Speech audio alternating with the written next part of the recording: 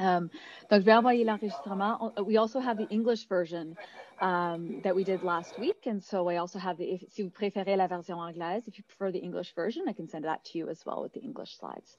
Um, mais pour aujourd'hui, on va continuer um, en, français. Um, donc, cette idée de, savoir ce qu'il faut apprendre, comment ce qu'il faut apprendre, comment on va le faire, c'est vraiment une, idée, un concept de métacognition. Um, c'est d'identifier ce qu'on sait déjà et ce qu'on ne connaît pas um, et élaborer une stratégie en fonction de, cela. Et c'était vraiment uh, Alex Trebek qui était un expert vraiment là-dedans.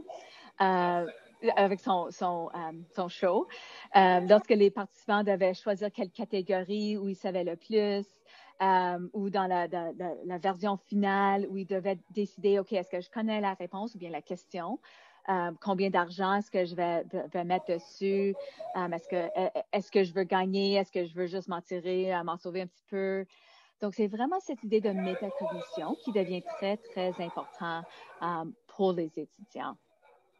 S'ils ne savent pas ce qu'ils savent, ils ne savent pas comment gérer leur apprentissage, gérer leur stratégie, etc. Oh, j'ai perdu ma souris, voilà. Une des choses, juste avant de continuer à ce diapo suivant, um, une, une, des choses que, qui peut être difficile, surtout pour les personnes qui sont experts en apprentissage, et souvent c'est les profs, parce qu'on fait de la recherche, um, on connaît très bien lorsqu'il faut aller apprendre quelque chose d'autre, on sait comment apprendre rapidement, aller dans un nouvel domaine, aller faire des recherches, tout ça, ça fait partie de notre job, ça fait partie de ce qu'on fait essentiellement à tous les jours. Et c'est pas aussi facile pour, pour les étudiants qui commencent vraiment juste à, plus à la faire. Euh, et ça peut être très difficile pour les experts dans une matière euh, d'expliquer aux autres comment le faire. Comment est-ce qu'on explique quelque chose qui, qui, nous est tellement inné, c'est tellement euh, facile ou, habituel pour nous? C'est un petit peu, j'ai passé du temps au, au Népal comme enseignante d'anglais. Et quand j'étais quand j'étais là, j'ai appris jusqu'à quel point je ne savais pas comment enseigner l'anglais, bien que j'ai appris l'anglais comme ma première langue.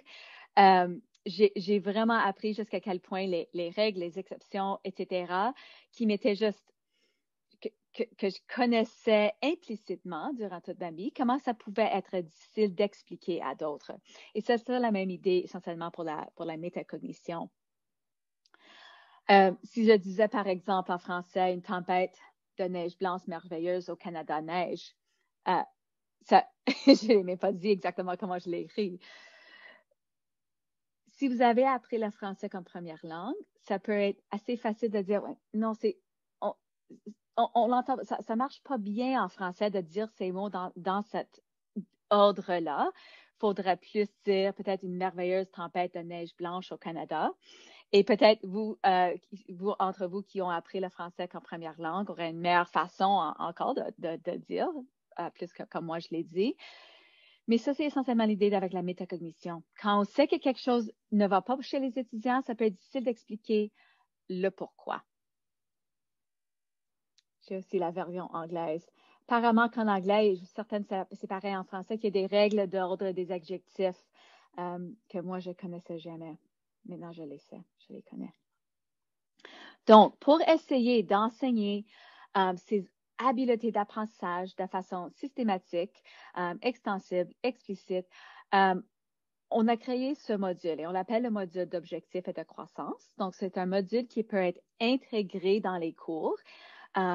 et je vais décrire les différentes parties. Donc, non seulement est-ce qu'on voulait quelque chose qui serait intégré dans les cours, mais on voulait quelque chose qui serait aligné avec les résultats d'apprentissage de ce cours euh, pour que ça fitte avec ce que le prof, du cours enseignait déjà. Euh, on voulait quelque chose qui était disponible en français et en anglais, donc c'est disponible dans les deux langues. Euh, on voulait quelque chose qui respectait ou qui dépassait les exigences en matière d'accessibilité et on voulait que ça soit une ressource éducative libre euh, pour deux grandes raisons. On voulait que ça soit gratuit pour les profs ainsi que pour les étudiantes et étudiants.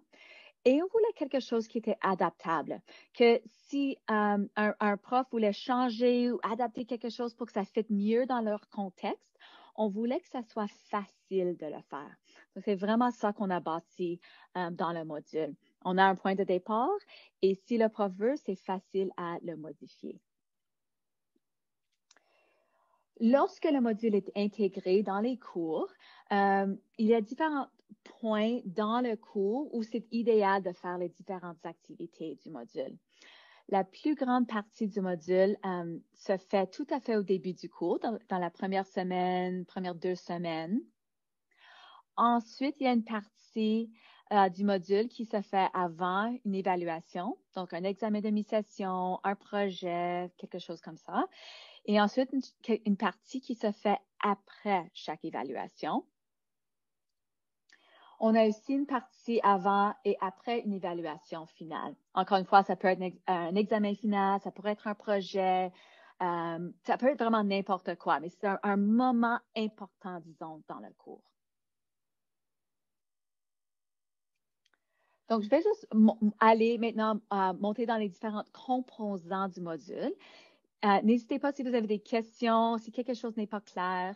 Euh, ça me fait plaisir euh, d'élaborer différentes, idées. Donc, le module est basé en partie sur l'autorégulation de l'apprentissage.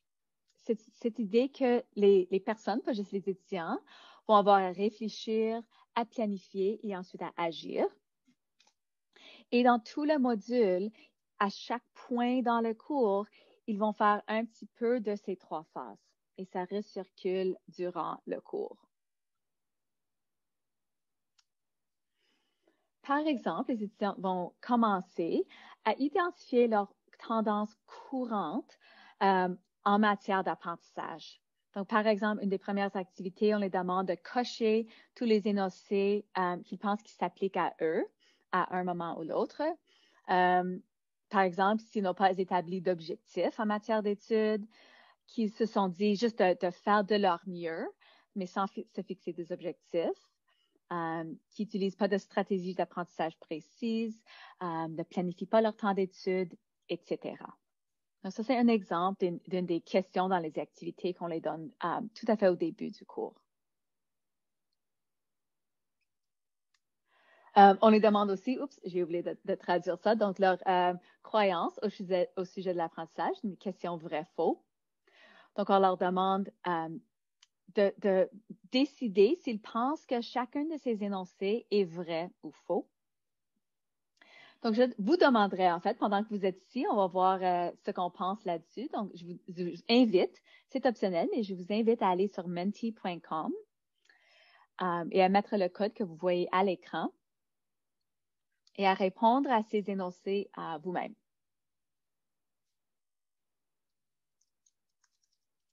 Donc, c'est à et le code est 7846721.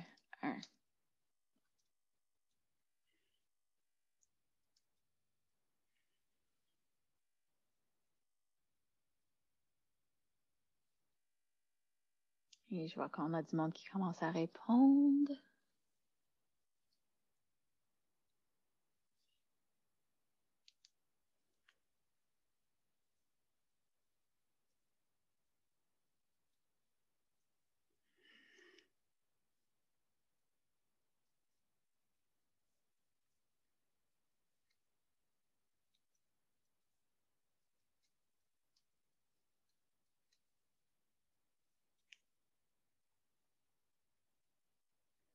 Je vais juste attendre à ce qu'on ait un bon, bon nombre du groupe qui ont, qui ont répondu. On est rendu à environ 10 qui ont répondu à ce point-ci.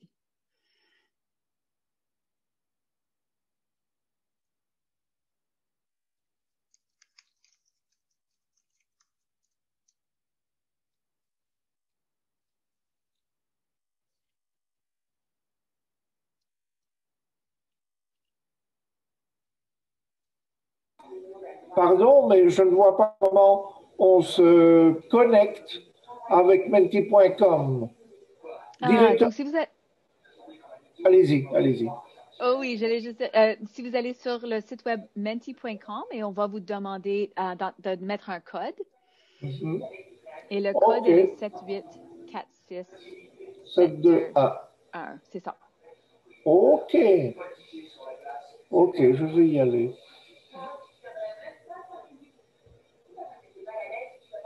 Et c'est pas essentiel, mais ça nous donne une, base de conversation. Ça, nous indique jusqu'à quel point le monde dans le groupe ici euh, pense que les énoncés sont, vrais euh, ou fausses.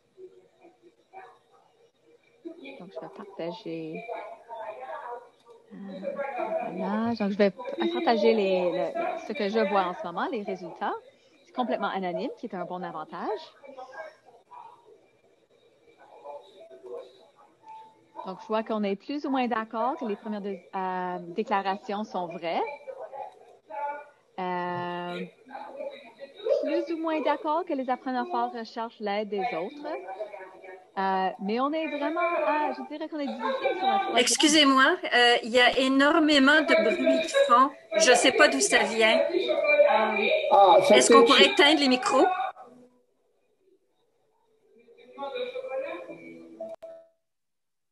Merci. Merci. Euh, donc, je, disais juste que on, voit qu'on est plus ou moins d'accord avec les, premiers deux, premières deux déclarations. Troisième aussi, plus ou moins, mais avec euh, la, troisième ici, on est, euh, on est mixte. Est-ce qu'on a des commentaires là-dessus?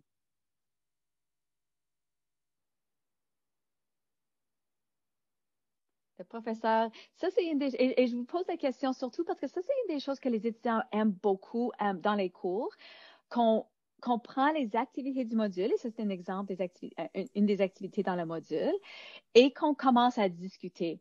Et je peux aussi dire que dans les cours, ça c'est un des énoncés euh, où il y a beaucoup de, beaucoup de discussions là-dessus. Céline, allez-y. Moi, je pense que c'est le rôle de l'enseignant d'être certain que les étudiants réussissent à atteindre les objectifs d'apprentissage. En tout cas, moi, c'est comme ça que je vois les choses. C'est la première, mon premier objectif, c'est que tous les étudiants atteignent les objectifs d'apprentissage, quel que soit leur niveau. Merci beaucoup. Est-ce qu'on a d'autres commentaires? Euh, en principe, je suis d'accord avec l'énoncé précédent. Euh, par contre, euh, je suis aussi conscient, peut-être parce que je suis en création, mais que l'apprentissage dépend aussi de la capacité de l'étudiant à intégrer consciemment la matière. Euh, donc, ce n'est pas entièrement ma responsabilité dans un sens où, je dirais, la matière se rende ou peut s'exercer de manière concrète, mais c'est ma responsabilité de m'assurer jusqu'à ce que l'étudiant comprennent et euh, arrivent à comprendre comment le faire. Mais au moment où l'étudiant est en contrôle de sa situation, là, ce n'est plus de mon ressort. Merci. Ah, Claudia, oui, bonjour. Bien, moi, je suis d'accord aussi avec Alain. J'appuie toujours dans, durant mon enseignement sur le fait que c'est l'enseignement ou bien le cours en tel c'est un effort 50-50 euh, entre professeurs et étudiants. Donc, c'est à nous d'expliquer la matière, mais c'est à eux aussi de faire un effort pour qu'ils euh, pratiquent dans nos cas, parce qu'on enseigne la chimie. Mais, mais c'est un effort 50-50, mais bien sûr, le professeur doit se charger d'enseigner bien la matière et de faire de sorte à ce que les étudiants essayent d'apprendre le plus en classe pour qu'ils puissent faire leur effort et arriver euh, au même objectif. Merci. Est-ce que je peux rajouter à ça? Euh, oui, c'était Michel, je crois. Oui, bonjour. Alors oui, je suis d'accord que notre rôle, c'est d'accompagner les étudiants, mais je crois que euh, les étudiants ont aussi un rôle actif à jouer s'ils sont engagés dans leur, dans leur apprentissage autodéterminé, ils vont avoir un apprentissage beaucoup plus en profondeur. Donc, on est encore un peu dans le paradigme de, de mentalisme où on transmet l'information, mais les études démontrent de plus en plus que lorsqu'on engage les étudiants, par exemple, lorsqu'on fait un laboratoire plutôt qu'un cours magistral, les étudiants ont la perception de mieux apprendre, mais quand on évalue concrètement, ils apprennent mieux quand ils sont actifs dans leur apprentissage. Merci. Euh, un, petit, un, petit, commentaire, si vous permettez. Euh, il faudrait aussi que le professeur enseigne aux étudiants pour atteindre les objectifs, qu'il leur enseigne à poser des questions. Ça, c'est un grand problème, en tout cas euh, là où j'enseigne. Euh, ils ne posent pas de questions, probablement, ou très peu de questions. Euh, probablement euh, pour ne pas paraître idiot devant les autres. Et c'est très dommage, mais c'est un phénomène euh, que je vois maintenant dans toutes les classes. Et ça n'était pas tout à fait comme ça. Je suis une personne qui n'est pas toute jeune. Ce n'était pas tout à fait comme ça dans les années 80. Merci beaucoup. Et donc, si je passe à la dernière parole à ce sujet à Carla, puis ensuite on continue. Oui, euh, je voulais juste ajouter un, peu quelque chose parce que oui, on est changé d'enseigner, mais on, ce qu'on enseigne, c'est aussi comment apprendre. Euh, parce que nos disciplines ont des exigences différentes selon la discipline, évidemment, mais c'est aussi à nous de donner des outils méthodologiques pour l'apprentissage. Et ce n'est pas tout le monde qui le fait. Enfin, c'est tout ce que je voulais ajouter. Merci. Et, si je peux rassembler un petit peu les, commentaires que j'ai entendus. En fait, on, vient dans, la salle en ce moment, on vient de toutes sortes de différentes disciplines. Euh, et donc, il va y avoir différentes, euh, différentes attentes. Et donc, même chose pour les étudiants lorsqu'ils passent de, cours en cours, euh, qui vont faire face à différentes sortes d'attentes. Donc, les discussions comme ça, on, entend des étudiants qui apprécient tellement avoir cette sorte de discussion et ça nous permet aussi de communiquer les attentes, euh, comment ça marche.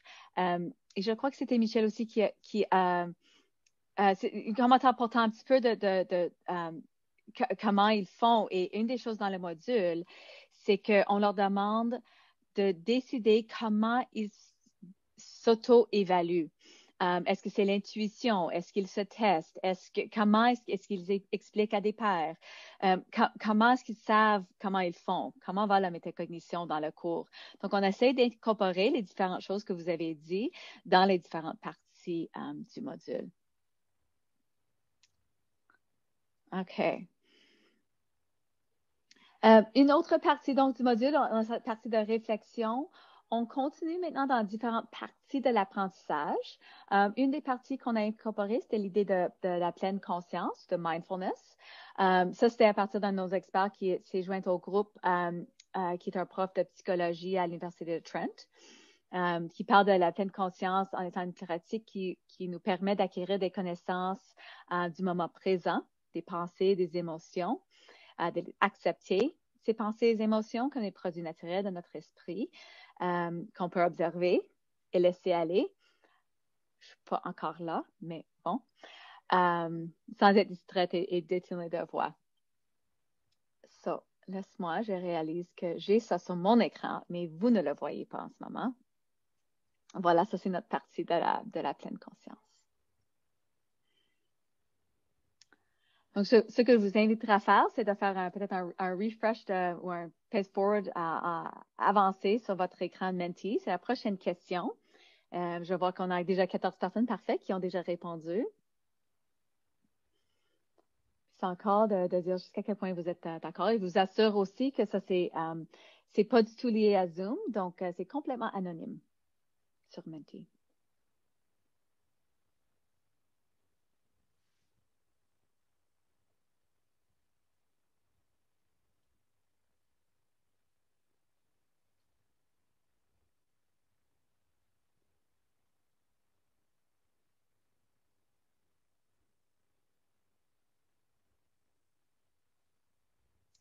Je vais juste attendre une autre petite minute pendant que le monde réponde et ensuite on pourra continuer.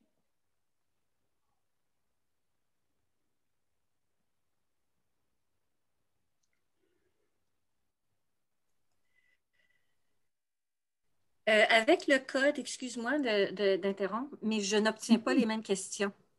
Alors, je ne sais pas comment euh, ah. avoir les questions. Alors, je viens de. J'ai encore les questions précédentes. Ah, est-ce que vous avez un bouton qui vous dit euh, peut-être d'avancer à la prochaine question? Peut-être si vous faites un, refresh de votre écran, ça, va les, faire apparaître? Ah, OK, oui, en effet, je l'ai. Oui.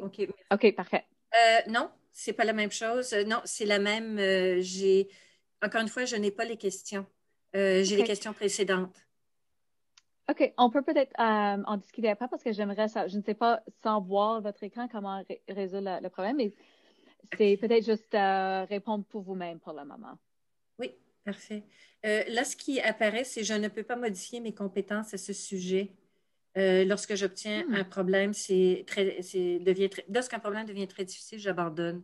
Ça, ce sont ah, les questions la qui question. OK, oui, ben j'ai pas celle. OK, parfait.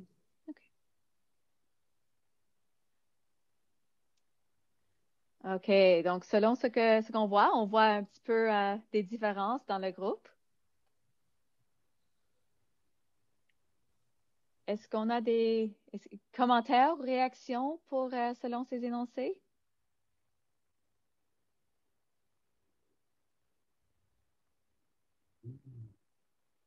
Pour ce qui est d'avancer, de, changer de question, j'ai mis que c'est les participants qui ont contrôle d'avancer ou de reculer dans les questions. Donc, j'espère qu'il y a un bouton, un refresh pour vous permettre de le faire.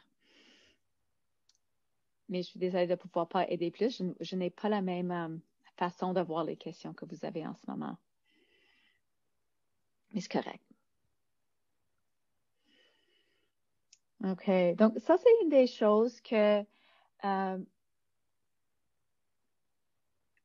que je dirais que les étudiants, lorsqu'on a fait des stratégies euh, d'apprentissage dans le cours, donc pas dans le, cours même, mais une session de stratégie optionnelle après un des cours qu'on a fait durant, durant le semestre, euh, que les étudiants ont bien aimé parler de ces sortes de questions.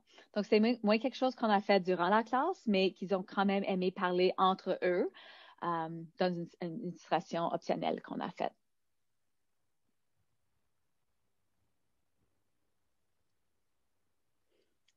OK. Je vais rechanger au PowerPoint ici. OK. Euh, donc, ça, c'est la question d'état d'esprit. Donc, Carla, je pense que ça, c'est la question dont, vous avez mentionné à mille minutes. Oh, et désolé, j'ai n'ai pas bien traduit la première partie.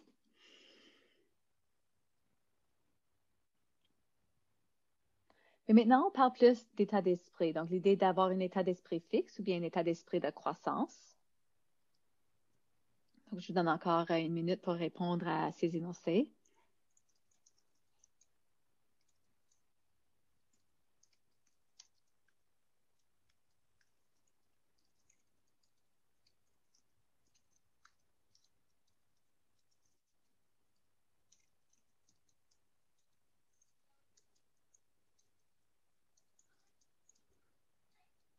C'est peut-être un bon moment aussi quand vous voyez que j'ai pas tout traduit pour la présentation en français. Euh, on a eu une traductrice professionnelle qui a traduit le module même et qui a vérifié les, changements qu'on a faits, mais c'est moi qui ai traduit mes diapos aujourd'hui. Donc, désolé si, euh, si vous voyez des erreurs ou, des, euh, des différentes difficultés de, de, de français là-dedans.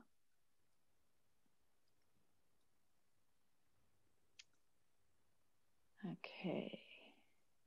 Donc, juste pour que vous voyez euh, les réponses jusqu'à ce point-ci. Donc, l'idée de je ne peux pas modifier mes compétences à ce sujet, à un certain sujet, le sujet de votre cours, par exemple, le sujet de votre expertise. La plupart euh, dans notre salle ici ne sont pas du tout d'accord. Euh, ça peut être très différent lorsque les, les étudiants répondent à cette question.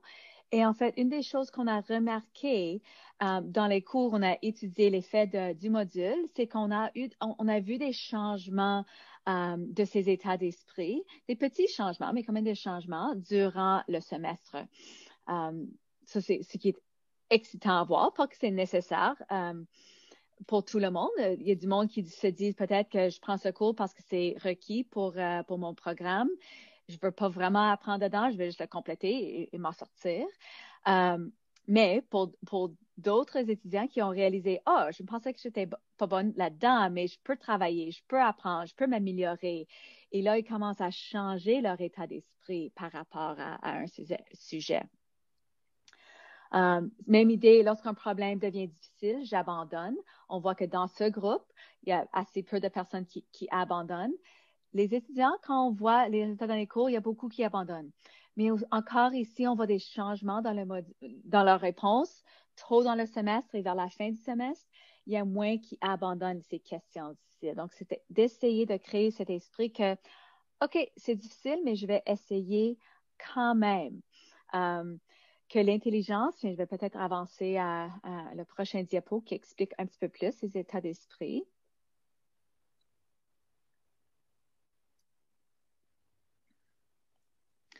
Donc, l'idée d'un état d'esprit fixe, euh, l'idée que les étudiants croient que leur capacité, c'est des capacités de base. Ce sont des traits fixes. Donc, par exemple, euh, je ne suis pas bonne en mathématiques, je, ne serai jamais bonne en mathématiques. Euh, tandis que dans un esprit de croissance, les étudiantes et étudiants comprennent que leurs talents, leurs capacités peuvent être développés. Ce n'est pas quelque chose de fixe. Quelques petites notes euh, au sujet des états d'esprit. Euh, la plupart des gens ont des états d'esprit, des mentalités différentes dans différents domaines de leur vie. Donc, peut-être que j'ai une mentalité d'esprit euh, de croissance en chimie, tandis qu'en art, j'ai plutôt une, un état d'esprit fixe. Donc, ça peut varier. c'est surtout des, situations difficiles qui font ressortir l'état d'esprit d'un étudiant ou bien d'une personne, c'est pas juste pour les étudiants.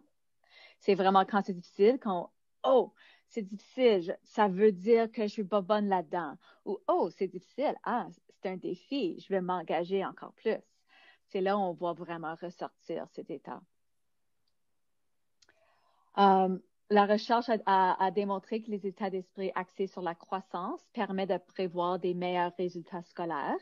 Euh, beaucoup de ces recherches à ce point-ci ont, été faites avec euh, des élèves qui sont plus jeunes, donc euh, entre maternelle jusqu'à 12e année à l'école secondaire. Il y a beaucoup moins de recherches à ce point-ci qui ont été faites au niveau postsecondaire, donc université, collège.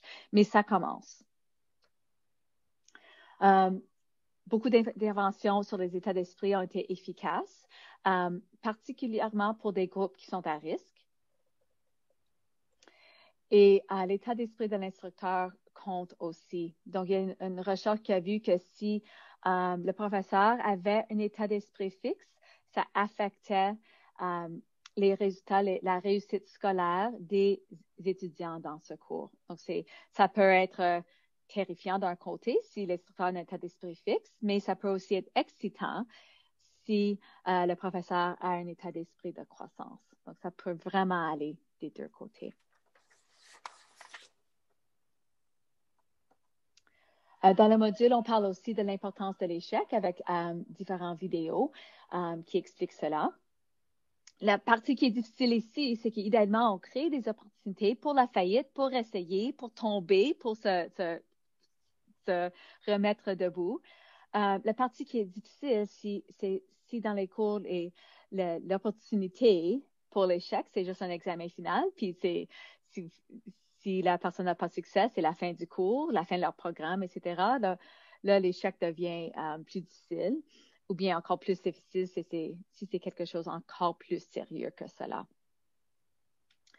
Bon, mais on en parle de, toute façon. Euh, on parle aussi de comment changer la voie de mentalité, pas de fixe, à euh, voie plus de croissance. Donc, comment on interprète, par exemple, les défis, les obstacles, les critiques, euh, comme des signes que on doit travailler plus fort, changer nos stratégies, etc. Euh, on parle aussi de comment on peut changer euh, nos états d'esprit. Donc, si on se dit, oh, oh, si tu échoues, tu seras un échec, ou si tu n'essayes pas, tu peux te protéger, tu peux conserver ta dignité. Tandis que si on dit à la place, ben, la plupart des gens qui ont réussi ont connu des échecs dans leur parcours. Um, si on n'essaie pas, c'est certain qu'on ne va pas réussir. C'est certain qu'on ne va pas gagner. C'est certain qu'on ne va pas avoir euh, euh, la subvention, etc. Donc, c'est des sortes de choses qu'on suggère comme modèle. Euh, une des choses qui est difficile là-dedans, c'est c'est pas juste de changer sa, façon de penser. Évidemment, il y a des, problèmes systémiques auxquels les étudiants font face. Euh, c'est pas juste automatique. Oh oui, je vais juste penser différemment et tout va être correct. Euh, mais c'est une des étapes au moins que, que l'on peut prendre. Euh, donc, on est encore vraiment dans le début du module en ce moment. Um, et on parle de la réflexion qu'on demande des étudiants à faire. Et on les demande un petit peu de penser à de grandes façons, comme dans leur vie, qu'est-ce qui leur est important, quelles sont leurs priorités et de rentrer de plus en plus en détail euh, en arrivant dans le cours même. éventuellement de se fixer des objectifs et ensuite de faire des, plans et décider comment il veut agir. Euh, une des choses qu'on les demande de faire, c'est d'évaluer leurs compétences selon les résultats d'apprentissage attendus. Et ça, c'est pour le cours même. Donc, ça, c'est où le, professeur du cours euh, peut adapter le module pour vraiment être spécifique et pour aligner le module avec le cours même. Et dépendant du cours, des fois, c'est des, résultats d'apprentissage qui sont euh, plutôt petits et très, très précis. ou ça peut être des choses plus grandes. Ça peut être des résultats d'apprentissage plus euh, basé sur des résultats euh, ou ça peut valoriser le processus même. Ça dépend vraiment du cours. Euh, ça peut être des connaissances, ça peut être des, habiletés de, de leader, ça peut vraiment varier et c'est pas, c'est vraiment au professeur de décider comment ils veulent adapter cette section. Pose pour une minute. As-tu des questions, des commentaires, etc. à ce point-ci?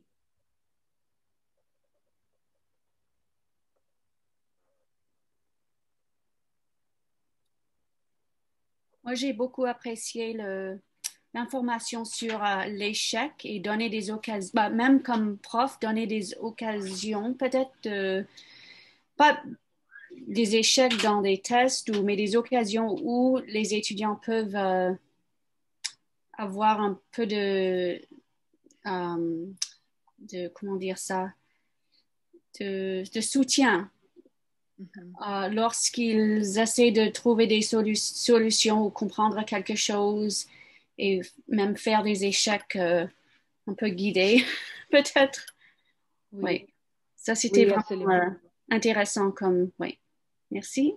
Oui, merci beaucoup. C'est très apprécié. Pour moi, cette partie-là est venue surtout dans les, dans les sports et penser à comment on, on ferait des pratiques, on, on, on essaie de se mettre en, situation de jeu ou de, match pour nous mettre, pour nous pousser, pour faire les choses où on n'est pas bon, où c'est pas juste les choses où on a des compétences pour apprendre, pour apprendre nos coachs, de nos coéquipiers, etc.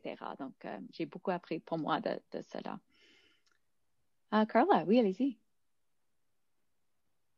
Euh, oui, euh, moi j'ai trouvé, en fait, surtout cet automne, c'est quelque chose sur lequel j'ai posé beaucoup, beaucoup d'attention dans la structure du cours et aussi dans la livraison de la matière, c'est de donner euh, la chance aux étudiants de se mesurer. Alors, soit de se mesurer entre eux, ou soit de se mesurer envers une tâche qui comptait très, très, très peu. il y, a très longtemps, je me suis fait dire que je ne pouvais pas demander aux étudiants de travailler sans leur donner de points. Euh, alors, c'est resté dans, ma façon de penser. Mais, mm-hmm. euh, par exemple, de faire un travail qui exigeait pas énormément de, travail comme tel, mais qui demandait une attention. Et c'était une façon de se mesurer par rapport au savoir. Et j'ai trouvé que pour les étudiants qui s'engageaient à ce niveau-là, parce que ce n'est pas tout le monde qui l'a fait, ça a mm-hmm. été très, très bénéfique. Enfin, ah, c'est fantastique, oui. Et en fait, on voit dans les modules, dans les réponses des questions, parce qu'on a vraiment analysé en profondeur les réponses des, étudiants, euh, des milliers d'étudiants dans plusieurs différentes sortes de cours. Au début, ils disent qu'ils utilisent leur intuition pour répondre. J'ai le sentiment de bien faire. Euh, mais que durant le cours, ils, commencent de plus en plus, surtout s'il y a des opportunités comme, comme vous décrivez dans le cours, qu'ils peuvent se, tester, s'auto-évaluer. Lorsqu'ils ont ces opportunités, ils deviennent de plus en plus précis dans leur métacognition. Oui, c'est vraiment, c'est vraiment fantastique. Merci. Oh, j'ai mis une fenêtre devant moi. OK. Une fois qu'ils ont réfléchi, euh, qu'ils ont commencé à penser à leurs valeurs, priorités, etc., là, ils commencent vraiment à vraiment regarder plus précisément leurs objectifs, priorités et se donner des stratégies, identifier le temps que ça va prendre, les ressources, etc. Euh, on les demande de, euh, de, se fixer des objectifs SMART, donc spécifiques, mesurables, atteignables, réalistes et, temporels. Et on voit au début que les, étudiants se fixent des objectifs très, très vagues euh, et que ça prend du travail pour que les, objectifs deviennent assez spécifiques pour vraiment pour être utiles, mesurables, euh, etc. Donnez-moi deux petites secondes.